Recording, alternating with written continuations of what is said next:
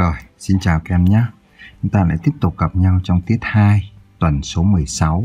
Các em nhớ là trên kênh của chúng mình thì chương trình sách giáo khoa của môn toán lớp 5 rất là đầy đủ, rất là chi tiết cho các em tất cả các cái bài rồi.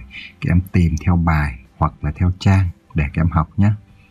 Vở bài tập tập 1, tập 2, vở luyện toán tập 1, tập 2, bài tập thực hành môn toán, bài tập thực hành tiếng Việt và toán, bài tập phát triển năng lực môn toán rất là chi tiết từng tuần cho các em.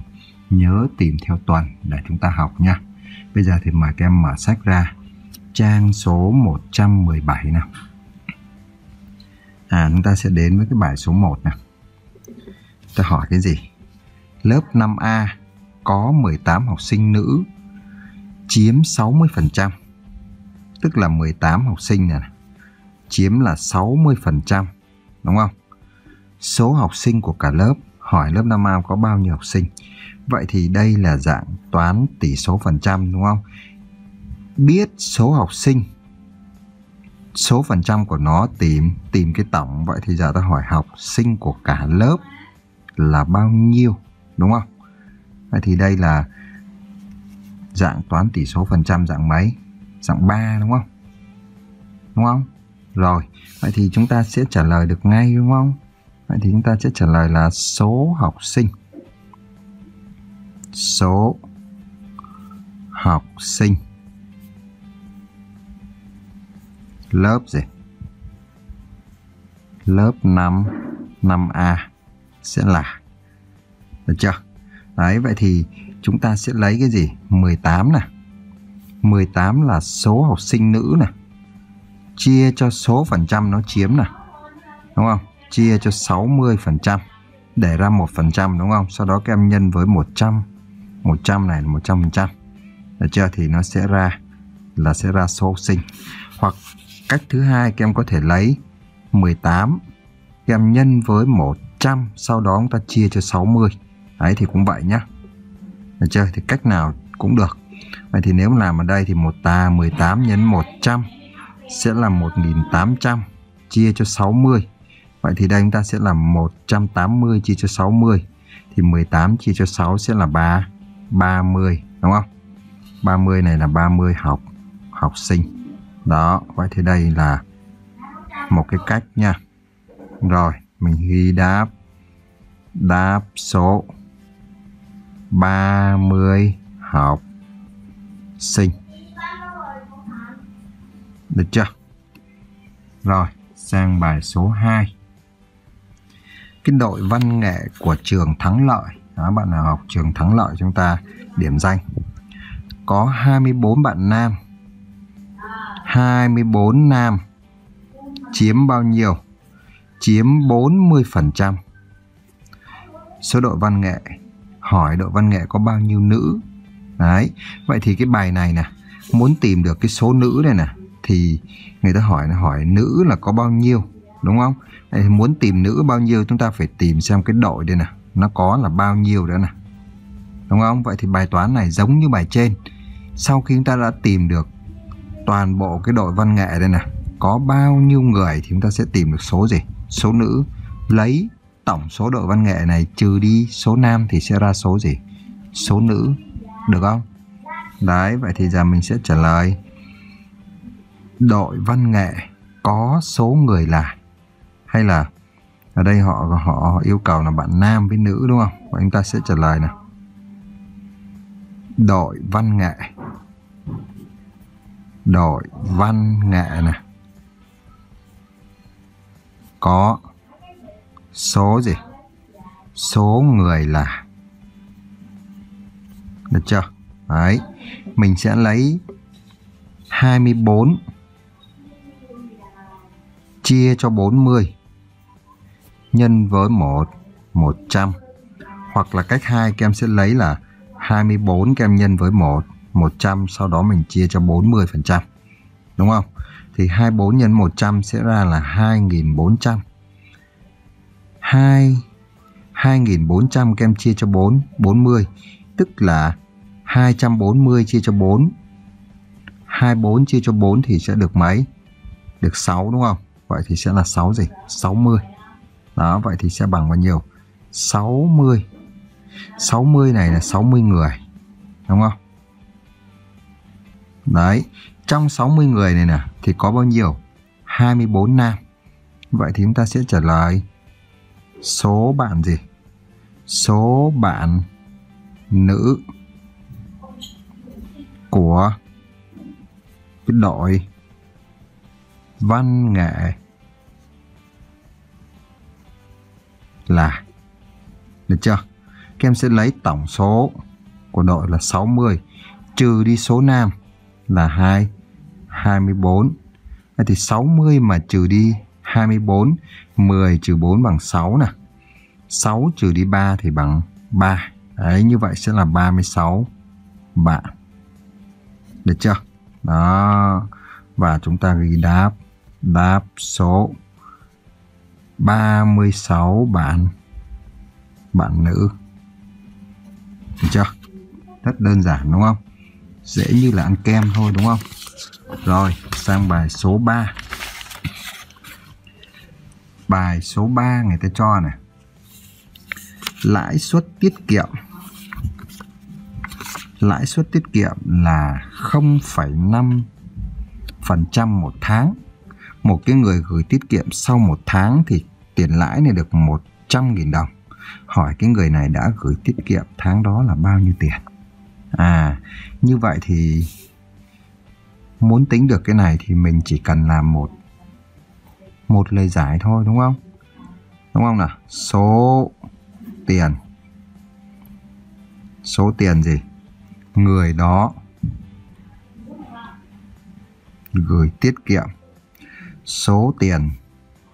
Người đó đã gửi tiết kiệm, tháng đó là số tiền.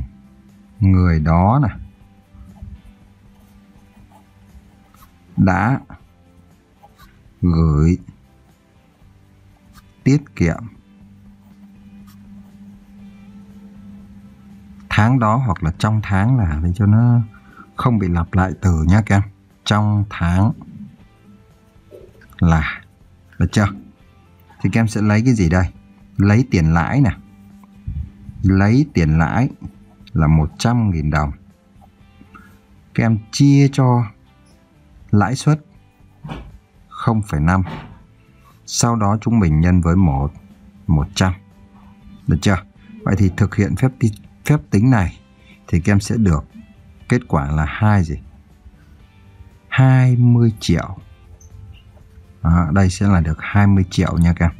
20 triệu này là 20 triệu triệu đồng. Được chưa? Đấy vậy thì đây chính là gì? Đây chính là đáp số của cái bài toán này nhá đáp số 20 triệu đồng.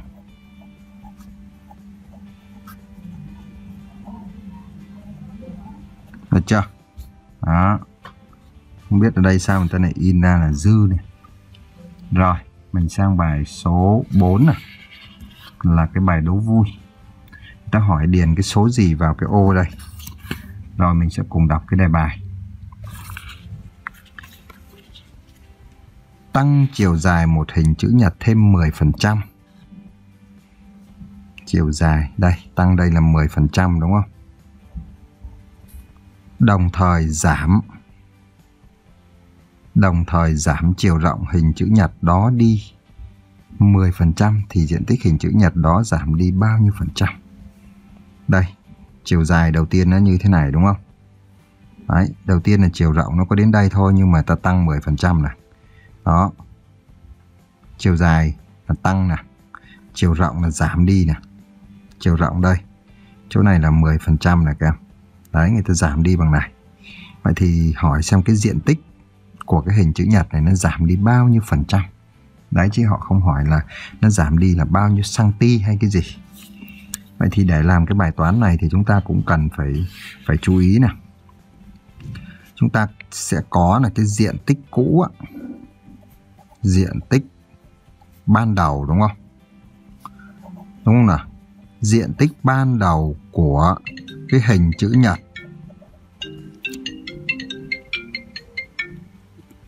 diện tích ban đầu của hình chữ chữ nhật đó, là bao nhiêu? Là 100%. Đúng không? Đây là diện tích ban đầu. Vậy bây giờ này, nếu mà tăng tăng cái chiều dài lên thì sẽ như thế nào? Nếu mà tăng chiều dài này. Nếu tăng chiều dài mấy 10%. Đúng không? Thì lúc này chiều dài mới nè. Thì cái chiều dài mới của chúng ta sẽ là bao nhiêu? Chiều dài mới nè. Chiều dài mới sẽ là bao nhiêu? 100 phần trăm này cộng thêm 10 phần trăm nữa, đúng không? Thì nó sẽ bằng là 110 phần trăm. Đúng không nào? Đó. Rồi, tương tự như vậy thì nếu mà chúng ta lại giảm nếu mà giảm cái chiều gì?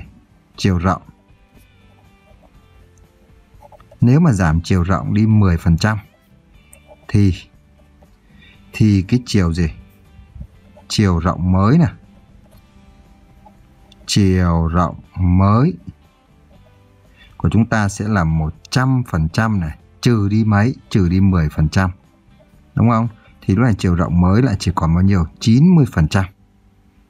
Được chưa? Vậy thì ở đây nè, chiều rộng mới nè, chiều dài mới là như thế này. Vậy thì bây giờ chúng ta sẽ có là diện tích mới nè. Diện tích mới nè. Đúng không?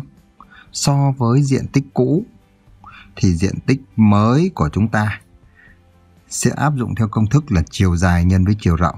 Đúng không? Thì nó sẽ bằng bao nhiêu? 110 phần trăm là chiều dài nhân với chiều rộng là kem nhân cho bao nhiêu? Nhân cho 90 phần trăm. Đúng không nào? Đấy, vậy thì để làm cái này thì chúng ta sẽ chuyển nó thành phân số này. Tức là sẽ là 110 trên 100 đúng không? Nhân với 90 trên 1 100. Phải chứ nào? Rồi bây giờ thì các em nhân lên. Đây là nhân hai phân số thôi. 110 nhân với 90 thì sẽ là 9.000. 11 nhân với 9 là 99, 9.900. Trên 100 nhân với 100 thì nó sẽ là 10, 10.000. Đúng nào? Vậy thì bây giờ chúng ta sẽ bỏ bớt các số 0 ở đây thì mình sẽ còn bao nhiêu? 99 trên 100. 99 trên 100 đây là phân số thập phân thì kem đổi nó ra số thập phân sẽ là bao nhiêu? Là 0,99. 0,99 chúng ta muốn đổi ra phần trăm thì chúng ta lại nhân với 100 thì nó sẽ là bao nhiêu? 99 phần phần trăm. Đấy, như vậy thì diện tích mới là 99%. Diện tích ban đầu là bao nhiêu? 100%. Đúng không? Vậy thì diện tích mới. Diện tích mới nè. Sẽ giảm. Giảm gì? Số phần trăm là, thì các em sẽ lấy diện tích ban đầu là 100 phần phần trăm các em trừ đi cái diện tích mới nè 99 phần trăm. Tức là 100 trừ 99 thì sẽ bằng 1 phần trăm. Đó, và đây chính là kết quả của cái bài toán này nhé được chưa đó vậy thì các em điền vào đây là mấy 1 phần trăm thôi được chưa? Đấy, bài toán này có vẻ là gì khó nhưng mà chắc là thầy hướng dẫn như vậy các em sẽ hình dung được và sẽ hiểu được đúng không nào? Đấy. Rồi, và đến đây thì chúng ta đã thực hiện xong được cái tiết số 2 này. Đừng quên chia sẻ video cũng như kênh của chúng mình nha.